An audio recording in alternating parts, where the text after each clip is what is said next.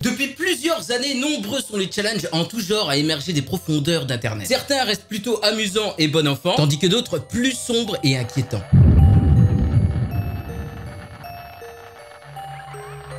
Waouh Rien que l'intro fait peur, et encore j'étais pas à fond. Bonsoir tout le monde, comment allez-vous Est-ce que l'étrange vous inquiète Est-ce que l'inconnu vous effraie Aujourd'hui nous allons parler d'une histoire qui prend de plus en plus d'ampleur sur la toile, et celle-ci risque de vous glacer le sang. Récemment une histoire plus qu'inquiétante fait parler d'elle, il s'agit du Momo Challenge. Encore un de plus allez-vous me dire C'est exact, cette fois-ci il nous vient tout droit d'Amérique, pour ne pas changer en fait, avec une petite origine du Japon, on en parle juste après. La France commence tout juste à s'y intéresser depuis quelques jours seulement. Plusieurs médias relaient des articles sur le sujet, notamment on peut en voir sur Twitter et Facebook. D'ailleurs n'hésitez pas à venir vous abonner au mien, tout est dans la description. On peut voir depuis quelques jours plusieurs personnes réagir à ce challenge sur les réseaux. C'est un sujet qui a attisé ma curiosité, j'ai voulu en savoir plus, j'ai mené pas mal de recherches ces derniers temps. D'où nous vient ce challenge Ses origines Pourquoi qui se cache derrière celui ou celle qui se fait appeler Momo À qui profite ce business? Bienvenue dans Enquête de Paranormal.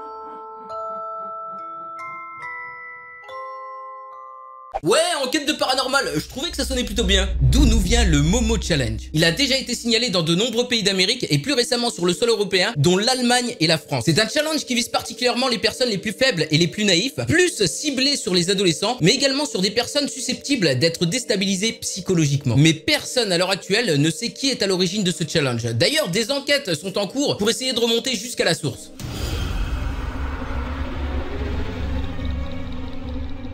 Qu'on sait à l'heure d'aujourd'hui, c'est que son visage ne nous est pas inconnu. Momo est en réalité une sculpture réalisée par une artiste japonaise du nom de Midori Hayashi, qui visiblement voue un culte pour cet univers sombre et glauque, puisqu'elle est à l'origine de plusieurs autres sculptures de ce style, dont des fabrications de poupées plutôt dérangeantes et aux allures malsaines. D'ailleurs, ses œuvres sont visibles à la Galerie Vanilla de Tokyo au Japon, qui est une sorte d'exposition des horreurs. On peut y apercevoir plusieurs œuvres d'artistes différents, et notamment celle de Midori Hayashi et sa sculpture qui est exposée depuis novembre 2017. D'ailleurs, cette sculpture est en train de devenir célèbre à travers le monde entier suite à ce challenge.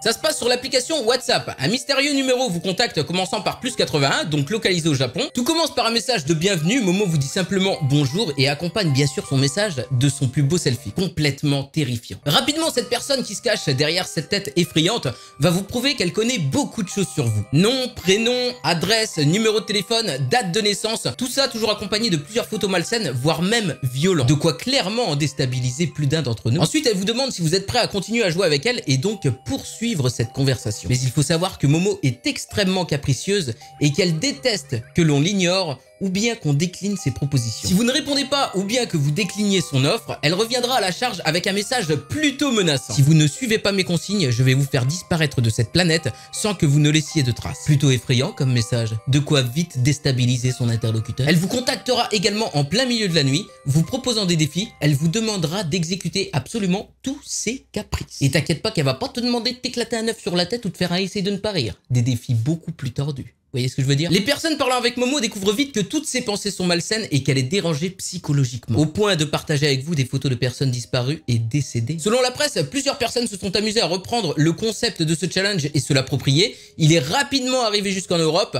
avec le même principe mais sous un autre numéro de téléphone. En faisant mes recherches, j'ai par exemple trouvé la version mexicaine de Momo avec des numéros de téléphone commençant par plus 52, donc localisés dans ce pays. Des pages Facebook lui sont consacrées, beaucoup de personnes reprennent la photo en créant des comptes parodiques pour détourner la chose. Peut-être pour cacher certaines peurs refoulées, qui sait Alors il y a bien sûr des comptes Twitter consacrés à Momo, également des comptes Instagram, d'ailleurs n'hésitez pas à venir voir le mien, il est dans la description, je viens de le créer, il est tout nouveau. C'est il y a quelques jours seulement que les autorités ont commencé à s'inquiéter de ce challenge. Deux suicides en Amérique seraient apparemment à la suite de ce Momo Challenge. La mort d'une petite fille de 12 ans en Argentine a provoqué de nombreuses interrogations. A-t-elle été victime d'un jeu dangereux sur l'application WhatsApp ou avait-elle subi dans le passé des abus sexuels qui l'ont poussée à commettre l'irréparable? Cette petite fille a été retrouvée par son grand frère pendu à un arbre chez elle à Ingeniero Maschwitz.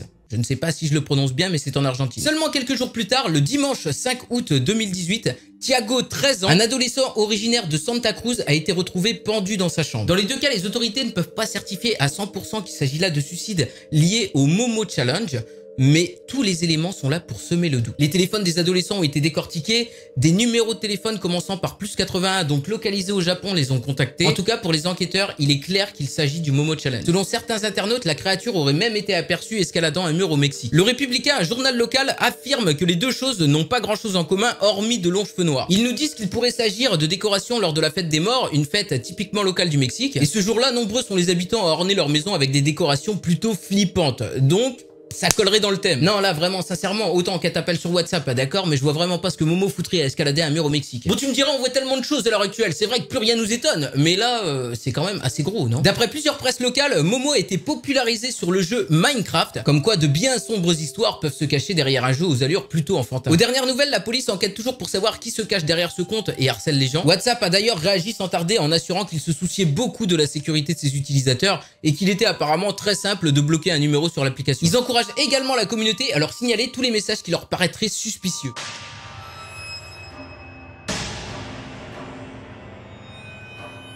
Alors, psychopathie ou business fructueux? Eh bien, je pencherai certainement pour un petit peu des deux. D'un côté, nous avons affaire à du voyeurisme, de la manipulation. Cette personne a l'air prête à tout pour arriver à ses fins. Et de l'autre côté, on a un numéro de téléphone, caché du tout, facilement trouvable, et je mettrai ma main au feu qu'il est surtaxé. Même bien surtaxé. Alors, je pense que beaucoup de personnes connaissent cette technique de chacal. Un numéro surtaxé t'appelle. Lorsque tu décroches, la communication se coupe. Alors, pour pas mal de personnes naïves, le réflexe, c'est de rappeler ce numéro. Et là, paf Il est déjà trop tard, tu viens de passer un coup de fil à 30 balles, Alors, il est possible qu'il y ait un vrai psychopathe ou une machine qui se cache derrière Momo, qui envoie des messages préenregistrés à des personnes faibles et qui les pousse à bout, tout ça dans l'unique but de satisfaire ses envies de psychopathe. Mais il est également certain que beaucoup de personnes vont profiter, si ce n'est pas déjà fait, pour envoyer des numéros de téléphone surtaxés et profiter du buzz créé autour de l'histoire. Alors qui se cache réellement derrière cette sculpture japonaise aux allures cauchemardesques devenue célèbre Est-ce un coup monté pour créer un buzz autour de l'application et ramener du monde? Est-ce vraiment un psychopathe?